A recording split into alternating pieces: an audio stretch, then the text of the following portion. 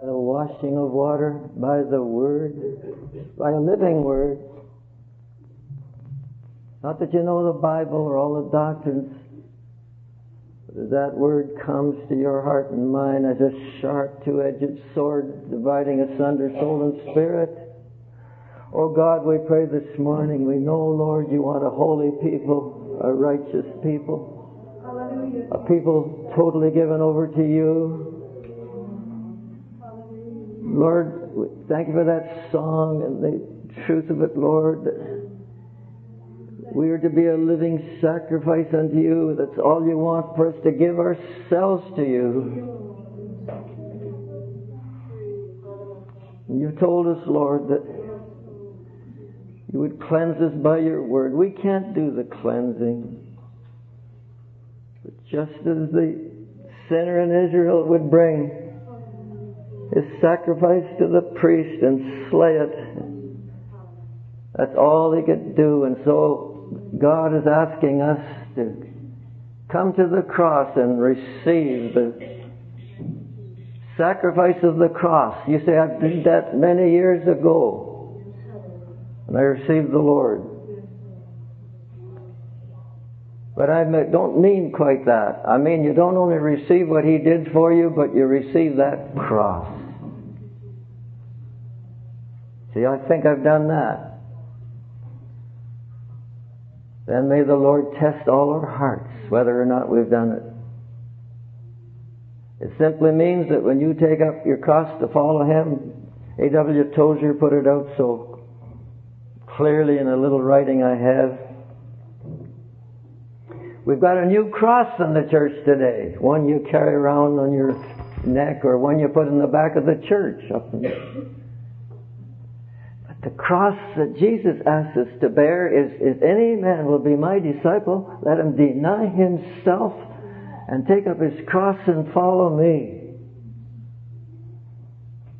Tozer put it so beautiful. He says, when that, when they saw that poor fellow walking outside the streets of Jerusalem or any other place in the Roman Empire carrying his cross, they were not saying, oh, he's looking for a new direction.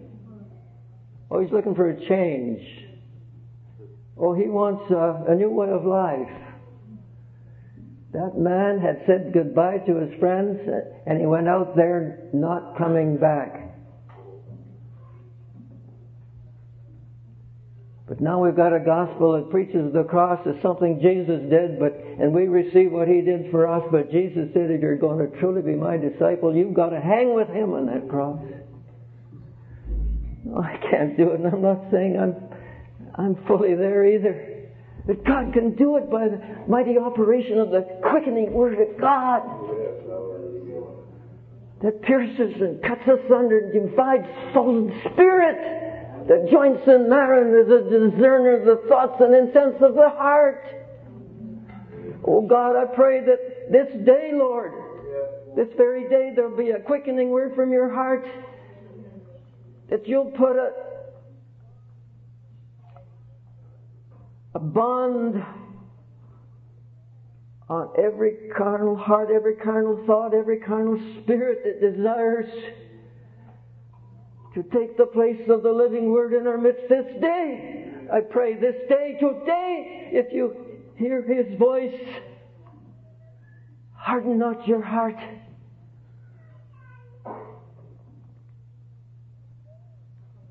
God says to his people, today, not this afternoon even, but now. If you will hear his voice, harden not your heart.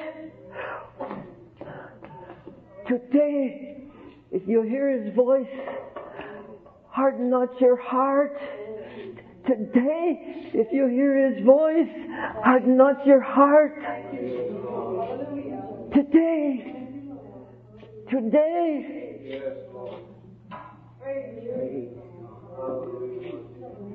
because you and I can't cleanse ourselves. We can't cleanse ourselves. If you hear his voice, let that sword cut. Divide asunder, let it cut. Deeply.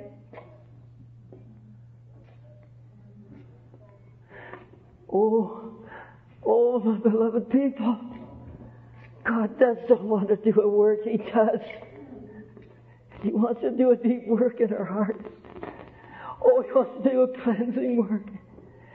God longs to come and dwell in us, walk in our midst, in your life and mine. He, he wants us to be the home in which He lives. And He's longing, He's weeping, He's crying out, I want to live in you.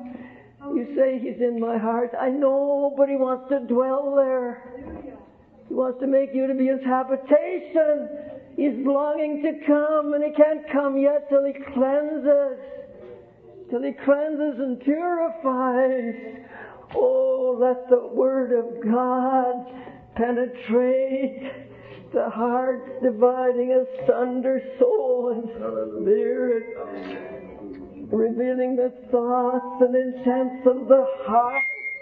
That the God of glory might come, that the God of glory might come and take up his habitation within us. Do it, Lord Jesus, for your name's sake. Do it for your name's sake. Do it, Lord, for your name's sake. Let's fall on our knees before the Lord.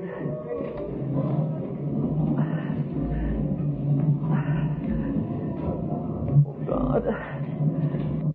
Look to the Lord to do a deep work. Oh, God. Oh, God in the Old Testament for the cleansing of the people. God says, take a dish and fill it with living water, water from the stream that was flowing. And he says, take two birds. Listen, even as you see God, listen to the living word of God. He says, take two birds take the one bird and slay it and let the blood uh, fill that dish that's full of water so that the water might be mingled with the blood of the bird. And then he says, take the live bird and dip it in this water, in this water and blood, and let the live bird fly throughout wherever it would go, let it fly away. And he says, that would be for the cleansing of the leper. But Jesus is that blood. Jesus shed that blood, and He is the resurrected one who went away that we might be clean. And so that as that living bird flew away, it flew away with its wings dripping with water and with blood. But Jesus said, Paul the apostle said, by the Spirit of Jesus, if the blood of bulls and goats and the ashes of a heifer, sprinkling those that were defiled, would sanctify unto the cleanness of the flesh, how much more shall the blood of Jesus, who is a lamb without blemish, how much more shall the blood of Jesus, who through the eternal Spirit presented himself without blemish unto God, how much more shall he cleanse those who are defiled because his blood and the water that flowed from his side has eternal efficacy. And the Spirit is truth because the Spirit is truth. He bears witness to the water and to the blood. John said, I saw water and I saw blood flowing from his side on Calvary. John says, I saw it. The Spirit of God saw it also. The Spirit of God was there because Jesus made that sacrifice through the eternal Spirit. You know why we're not finding the cleansing that we want? Because we do not let the Spirit of truth, we do not let the Spirit of truth have His way in our midst. We crowd Him out of our lives as individuals. We crowd Him out of the church with all kinds of nonsense and paraphernalia that God never ordained. He wants the people who gather together in His name and unto Him and unto Him only. God wants His people to take away all the trivia, trivial things that come in to magnify the worship of God, all the paraphernalia, all the banners, all the ribbons, all the tinsel, all the trash, the comedians, the magicians, all this stuff that they're bringing into the house of God. God wants to purge it out of our midst that we might gather solely unto Him. Wants to cleanse us by the washing of water. The water and the blood is mingled together. And the Spirit is truth, and the Spirit beareth witness to the washing of the water and the blood. Oh, we thank you, Lord Jesus, for cleansing by the water and the blood that flowed from Jesus' side. Just as efficacious today as it was when it flowed when Jesus died on the cross because the Spirit of God was there at that sacrifice. Appropriating, absorbing in His own being the efficacy of the blood, and the reason we don't have the cleansing of the blood as we ought is because we've crowded the Holy Spirit out of the church. Holy Spirit, Holy Dove, come back into the midst of your people. As we pray together, we pray that the cleansing of the blood and the water will come back into our midst, come into our hearts, that we might know the efficacy of the cleansing of the water and the blood of Jesus. The cleansing stream. I see, I see, I plunge and oh, it cleanseth me, it cleanseth me, yes, cleanseth me, oh praise the Lord, it cleanseth me. Cleanse us, O Lord, by the washing of the water, by the word that we might be as clean as Jesus is clean, because it is His blood and only His blood that makes us clean. That only the Spirit of God can apply the work of the cross to our lives. Cleanse us, we pray, O Lord, by that cleansing stream that flowed from the cross. And Lord, I pray for your people bowed before you. Lord Jesus, we go, we walk in a world that's full of strife, full of contention, full of malice, full of all kinds of wickedness, all kinds of lusts, Lord, that uh, fly at us from all directions, and our minds become contaminated, our hearts become contaminated. Give us grace this day, Lord, to so appropriate your word and your spirit, Lord, that we can walk through the lowest pits of darkness if need be and know that we walk in the purity and in the holiness and in the righteousness of Jesus Christ. Because you've made that available for a people that can walk in darkness and yet know the light so that the darkness and the light are both alike to thee and the darkness and the light will be the same to us because we're clothed in light. Clothe us in light, Lord, and help us to walk in light, that our whole body might be full of light, having no part dark, but walking in the pure light of Jesus, for that's why you died and that's why you went away.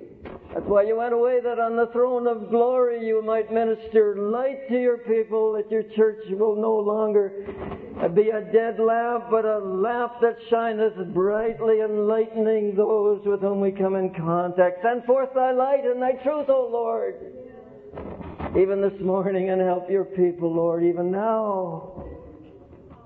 I pray, enable every heart in this room that's solemnized in your presence. Enable each heart, Lord, to reach out even now, Lord, and receive, Lord, in a new dimension, in a dimension of grace and love and truth that we've not known before, a dimension of the Spirit of God in our lives that will enable us to walk in holiness and in purity in humility and meekness and gentleness and in justice and righteousness. Even now, Lord, do a work in the hearts of your people. Cause your people to cry out unto you, Lord, in this hour. For the mantle of Jesus to envelop us and keep us in that mantle, keep us under that robe of righteousness, even as we walk in a world of sin and darkness.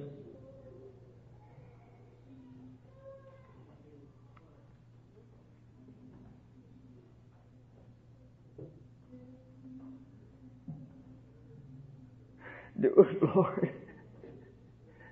Do it, Lord, in each heart bowed before you. Do a mighty work of grace, a mighty work of healing, Lord. Do a mighty work of healing, Lord. Thank you, Lord Jesus. Heal our inner man, heal our spirits, Lord. The healing virtues that flowed from Calvary, Lord. Thank you, Lord Jesus. Thank you, Lord Jesus. A word that keeps coming to me is the very, very, very last verse of the Old Testament. And that verse says that before the final day, the hearts of the fathers shall be turned to the children, and the hearts of the children to the fathers. I'm really especially thrilled and blessed to see so many young people here. My heart has been pounding all morning and this weekend for the young people. Because whether we believe it or know it or not, for the Lord to consummate this age, He must include the young people. In fact, He may primarily move through the young people. Maybe He's allowed us, some of us, to have some suffering in anticipation. But perhaps He also wants to do a cleansing work within the families and within the households. Somehow the Lord was very gracious and He met me at about age 10.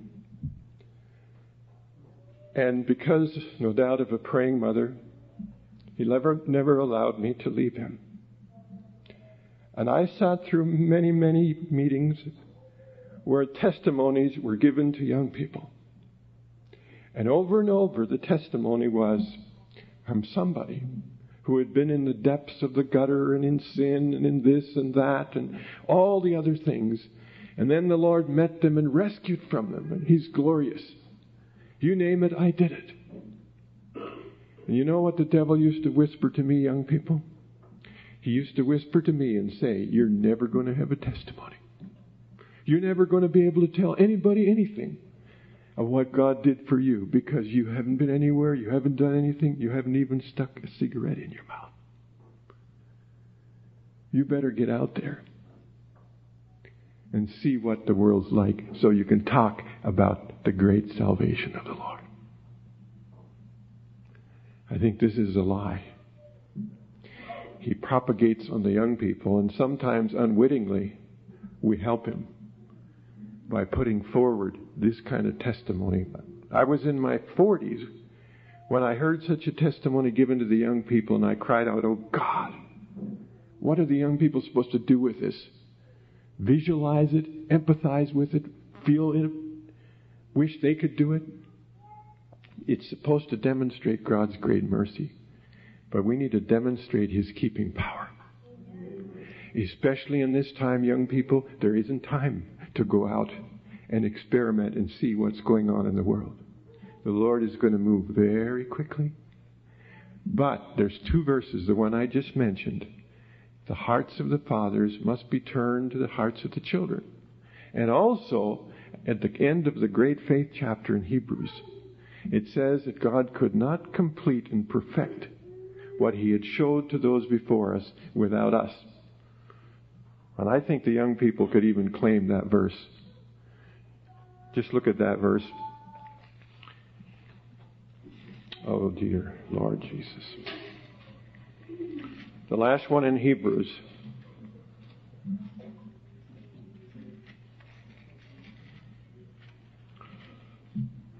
Chapter 11. These were all commended for their faith Yet none of them received what had been promised. We, your parents, haven't received yet what we sense within our spirit is getting promised to us. God plans something better for us that only together with us would they be made perfect. But listen, first of all, dear young people, The Lord needs a pure heart.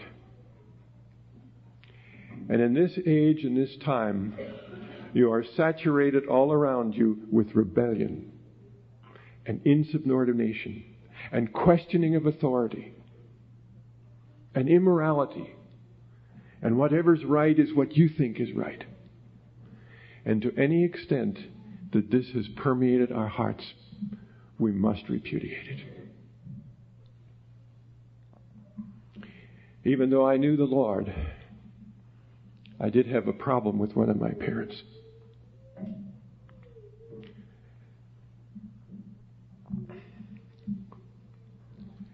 I seemed to have a need to analyze and correct my parent.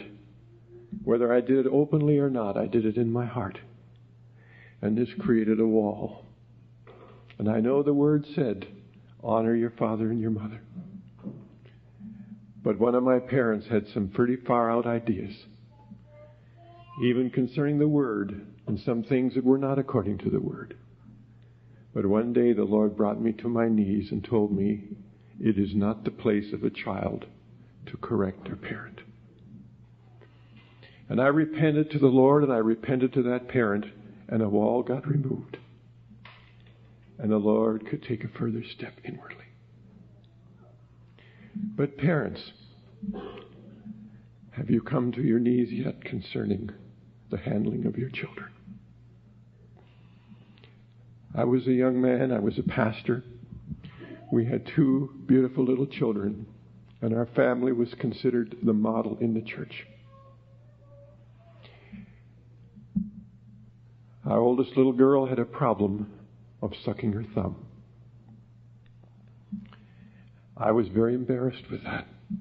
I thought that indicated, I don't know what, but something that reflected on my image, I guess. I'll never forget one day I was carrying her down the aisle. And as I was carrying there,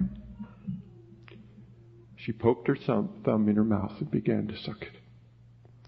And as I was carrying this little one and a half year old in my arm, I put my thumb up into here and I jerked it down. She winced with a little bit of pain, and we sat down. Sometime later, one night, the Spirit of God began to roll over me in waves. Said, You arrogant, selfish, egotistical young man. You think you have children just for your own glory, just to manifest how good and how great you are. When you did that to your daughter, you didn't do it for her sake.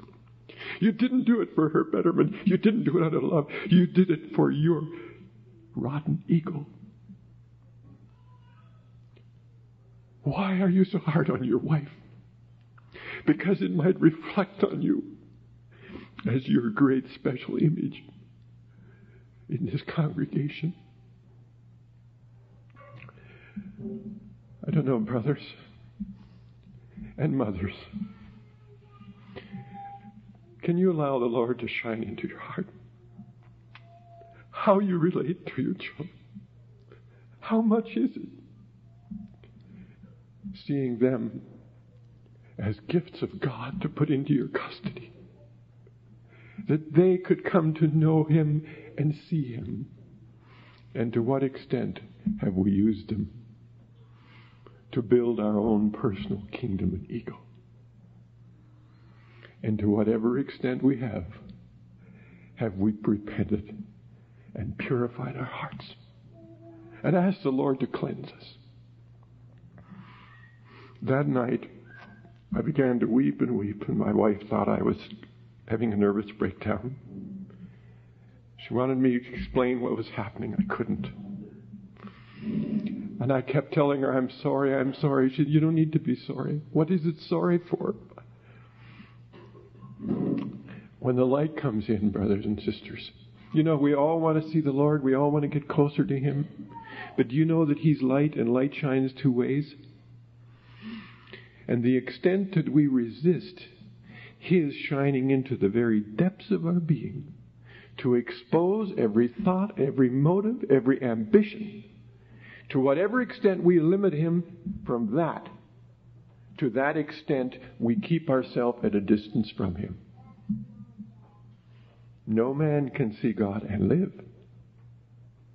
Only to the extent we're willing to have put to death all within us that is of self. Only to that extent can we see Him. We'd like to preserve ourselves, pull the veil back, take a good look, and stay the way we are. We can't.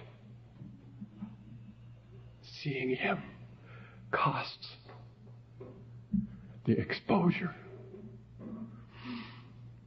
I don't know, this may be too much. This experience I mentioned in mine, unfortunately, sorry to say, wasn't the only time I had to come to this end. And even again this morning. Our children are growing.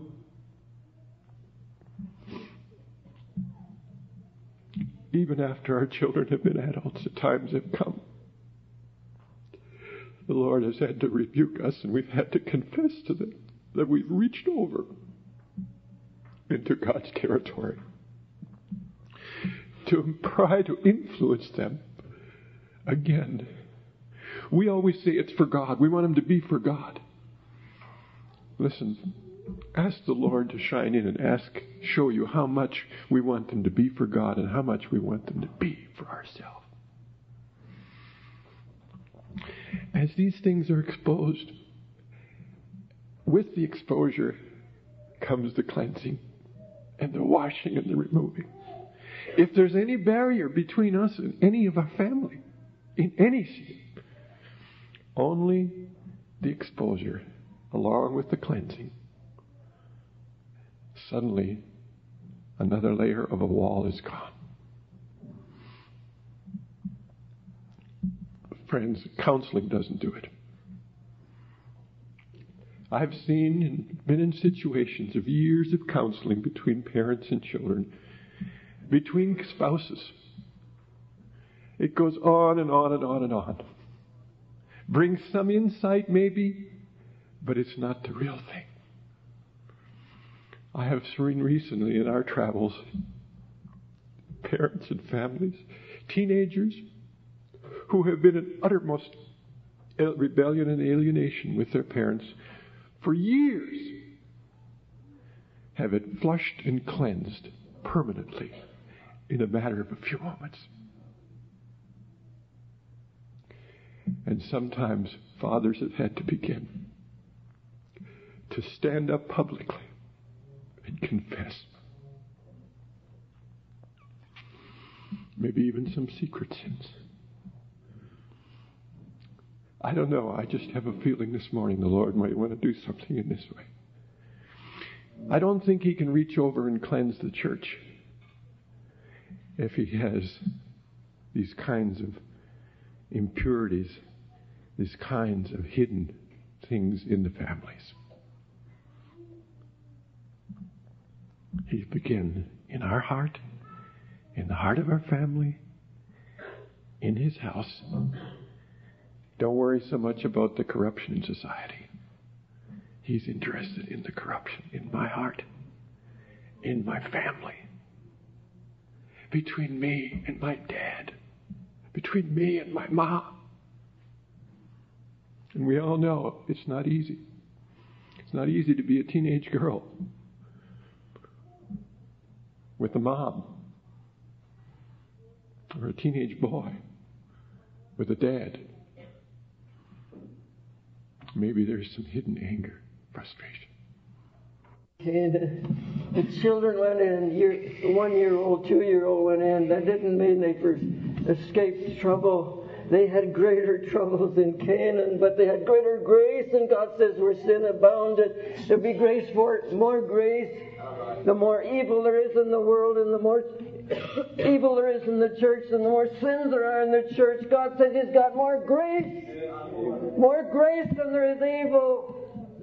God, we look for that grace. That abundant grace you promised for the more evil. We want that more abundant grace you promised, Lord.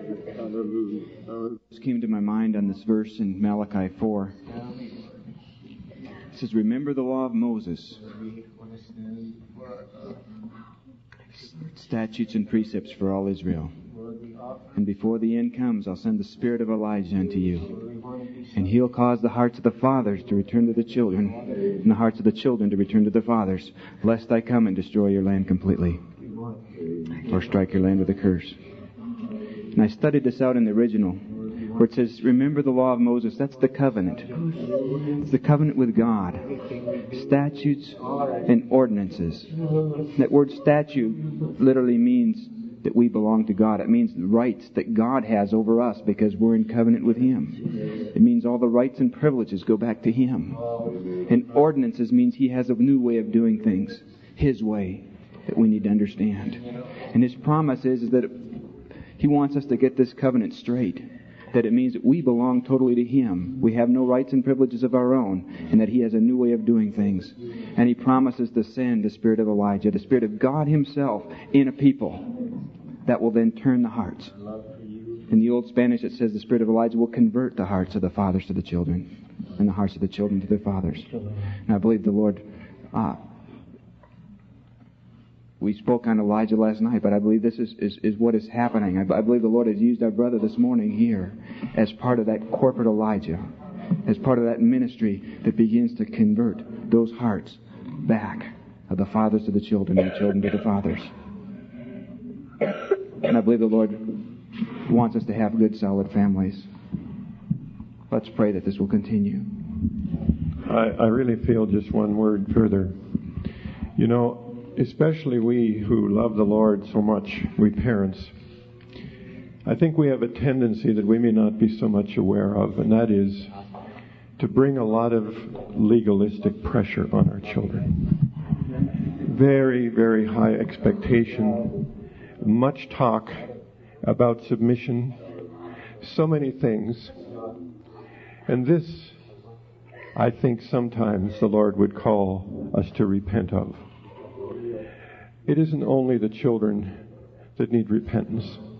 I think they need to hear the response from some of the parents that we ourselves acknowledge that we have stepped across the border and added to their frustration. My heart senses there needs to be a two way response. I don't know if this is in any of your hearts, any father or mother. I think sometimes it helps, even if you are, as it were, a type of scapegoat. But uh, as they confessed and melted one with the other this morning, it I started to cry because it took me back a few years when our Stephen was growing up, and uh, being a foster boy to me, it does make an extra problem. But uh, I felt I'm going the Bible way. The Bible way is spare the rod and spoil a child. And though it was just verbal, it seemed to help my ego that uh, when I cracked the whip, uh, the boy would jump. So therefore, I was following a Bible rule, but not with the Bible love of God. And I think that applies to all the Bible rules, doesn't it? Amen. Yes that if uh, as a rule there we're following and we don't have the full love of God to follow it, well, maybe we better stop and clear things up. Because uh, it came to the place that after this had, I had taken this attitude for maybe about a year.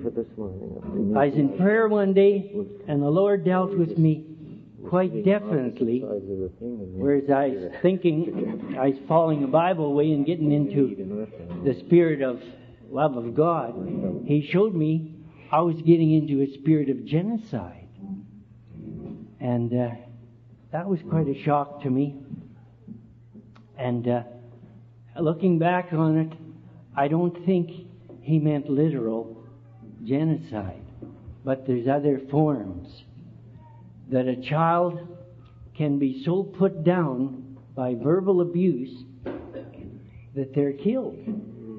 And you meet young people like that maybe every day if you're moving across the land. They can't look you in the eye. They can't ever get up and speak to a group bigger than one or two. And it's usually that somebody has killed them along the way. And so we need to pray for the life of our young people. God is life, and He wants us to bring up our children that they're bubbling with life, the life of God.